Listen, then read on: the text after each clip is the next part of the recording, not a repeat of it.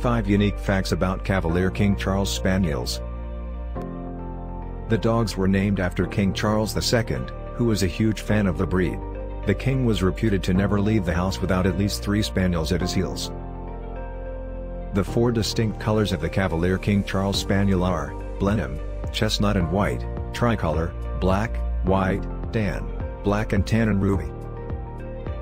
It wasn't until 1956 that the first Cavalier King Charles Spaniel was recorded in the United States.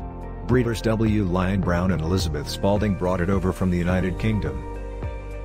In 1985, President Ronald Reagan gave Nancy Reagan a Cavalier King Charles Spaniel called Rex as a Christmas present. The Cavalier King Charles Spaniel's lifespan is 9 to 14 years. Please don't forget to smash the subscribe button and give us a thumbs up. Thanks for watching.